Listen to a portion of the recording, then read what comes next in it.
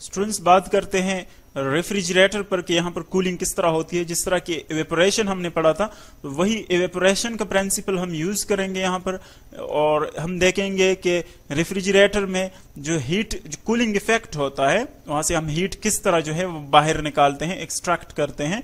So first of all अगर आप recall कर ले रिवाइज कर ले एवेपोरेशन फिनोमिना को तो देखें हमारे पास अगर ये वाटर है, एक कंटेनर में आपने लिया हुआ है, ये वाटर सरफेस है, इसको आप कंसिडर कर ले, यहाँ पर हमारे पास मैनी मालिक्यूल्स हैं, हम कुछ मालिक्यूल्स शो कर रहे हैं, लेकिन यहाँ पर बहुत ज़्यादा मिलियंस ऑफ़ मालिक्यूल्स होते हैं।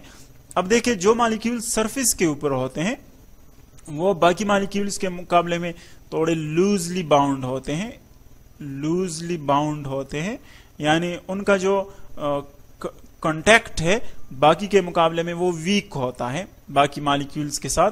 तो देखिए, अगर इन मालिक्यूल्स की ये जो काइनेटिक एनर्जी है, अगर वो बढ़ जाए, इन मालिक्यूल्स की काइनेटिक एनर्जी इंक्रीज हो जाए तो क्या कर लेते हैं जंप आउट करते हैं इस सरफेस से, बाहर निकलते हैं।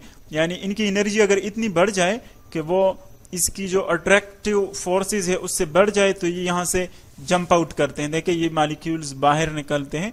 सो so, सरफेस से जब इस तरह मालिक्यूल्स बाहर निकलते हैं वेपोराइजेशन होती है इस तरह यानी बॉइलिंग पॉइंट के बगैर यानी हमने इसको बॉइलिंग पॉइंट तक हीट अप नहीं किया है लेकिन उसके बावजूद भी यहाँ से वेपोराइजेशन होती है तो इस तरह के प्रोसेस को हम क्या कहते हैं?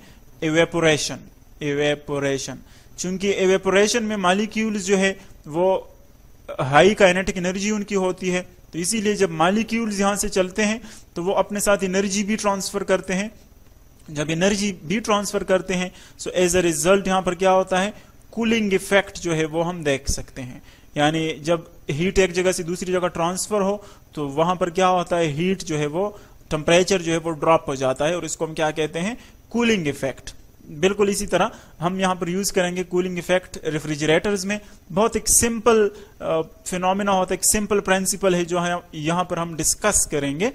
फ़र्स्ट ऑफ़ ऑल देखें, यहाँ पर जो गैस हम यूज़ करते हैं, आपने देखा होगा कि घरों में हम जो फ्रीजर्स यूज़ करते हैं रेफ्रिजरेटर्स उसमें अक्सर हम देखते हैं कि गैस खत्म हो जाए या कम हो जाए तो उसकी जो फ़ंक्शन है वो बंद हो जाती है। रेफ्रिजरेटर की फ़ंक्शन जो है वो फिर नहीं करता, उस तरह कूलिंग इफ़ेक्ट नहीं होती। सो एक्चुअली जो गैस इसमें यूज़ होता है, उसको हम जनरली क्या कहते हैं? फ्रियन फ्रियन एक्चुअली जो प्रोडक्ट्स आते हैं, जो कंपनीज़ या जो लोग इसको बनाते हैं जो यूनिट्स इनको बनाते हैं, उन्होंने इसको अपना एक ट्रेडमार्क अपना एक नाम दिया है, जिसको फ्रियान कहते हैं। लेकिन अगर हम केमिकली देखें तो इसका जो केमिकल नेम है हमारे पास, वो है क्लोरोफ्लोरोकार्बन सी एफ़ सी ये स्टैंड करता है क्लोरो के लिए।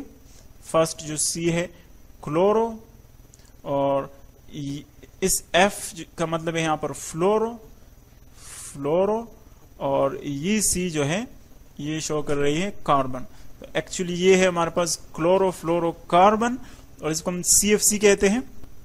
अब जो क्लोरोफ्लोरोकार्बन हम यूज़ करते हैं फ़र्स्ट ऑफ़ ऑल हम यहाँ से स्टार्ट लेते हैं, देखें। जब यहाँ से ये जो वेपर्स है, यहाँ से एंटर होते हैं वेपर्स एंटर होते हैं तो क्या करते हैं? यहाँ पर चले जाते हैं। अब जब ये फ्रीजर कंपार्टमेंट में एंटर हो जाते हैं, ये वो कंपार्टमेंट है फ्रीजिंग कंपार्टमेंट जहाँ पर हम चीज़ें रखते हैं ठंडा करने के लिए। तो अब यहाँ पर क्या होता है? यानी जो एयर यहाँ पर फ्रीजर के अंदर मौजूद है, जो एयर मालिक्यूल्स जो हवा यहाँ पर मौजूद है, उसका टेम्परेचर इस सीएफसी से ज़्यादा होता है। तो जब सीएफसी से उसका टेम्परेचर ज़्यादा हो तो इसका मतलब क्या हुआ?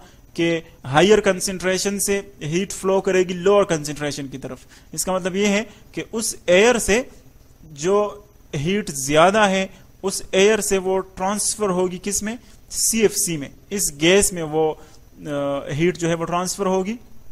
जब यहाँ से हीट इस गैस में ट्रांसफ़र होगी तो इनकी काइनेटिक एनर्जी बढ़ती है और ये एवेपोरेट करते हैं। यहाँ से ये निकल जाते हैं।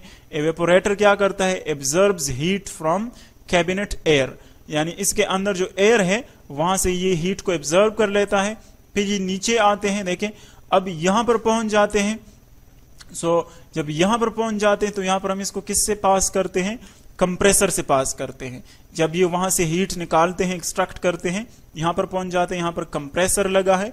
इसको हम कंप्रेसर से पास करते हैं इसको हम शॉर्टली सी से रिप्रेजेंट करते हैं। लिखा हुआ भी है यहाँ पर कंप्रेसर कंप्रेसर इसकी प्रेशर को इंक्रीज कर लेता है यानी इसको प्रेशराइज कर लेता है कंप्रेस कर लेता है। तो जब कंप्रेस हो जाए तो इसका मतलब यह है कि मालिक्यूल जो है वो क्या हो गए? वो एक दूसरे के करीब आते हैं प्रेशर इंक्रीज हो जाता है।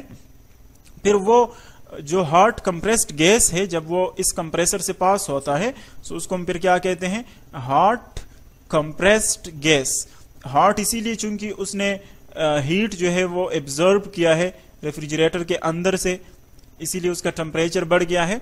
और यहाँ पर कंप्रेस भी हमने किया तो इसीलिए इसको हम हार्ट कंप्रेस्ड गैस कहेंगे। यहाँ पर आता है तो देखिए आप देख रहे हैं कि जो कंडेंसर है coils dissipate heat into the room air यानी अब इनकी हीट रूम के जो एयर है, उससे ज़्यादा हो जाती है। क्योंकि हमने इसको कंप्रेस भी किया तो और भी इसकी जो टेम्परेचर है, वो बढ़ती है। तो क्या होता है कि जो बाहर जो रूम का टेम्परेचर है रूम का टेम्परेचर वो स्मॉलर हो जाता है। किससे?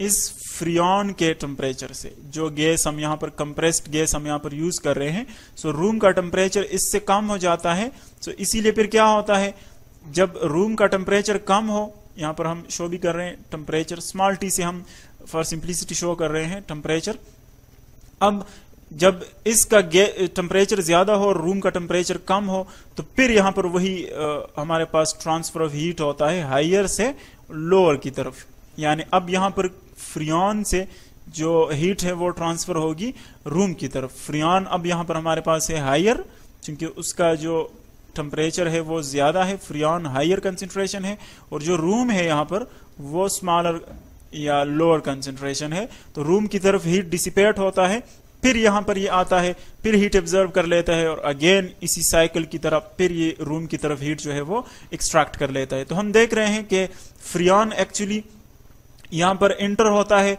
फ्रीजर के अंदर से, रेफ्रिजरेटर के अंदर से हीट को एब्जॉर्ब करता है, वहाँ से इसको ले जाता है, नीचे एवेपोरेट हो जाते हैं, ये जो हमारे पास मालिक्यूल्स हैं, यहाँ पर इनको हम कंप्रेस कर लेते हैं, और भी इनकी टेम्परेचर बढ़ जाती है, और फिर ये जब यहाँ से पास होते हैं, इस ट्यूब से तो ये बाहर इसको डिसिपेट करते हैं। तो ये हमारे पास एक एप्लीकेशन था कि किस तरह एवेपोरेशन जो है, वो रेफ्रिजरेटर्स में कूलिंग इफ़ेक्ट प्रोड्यूस करता है।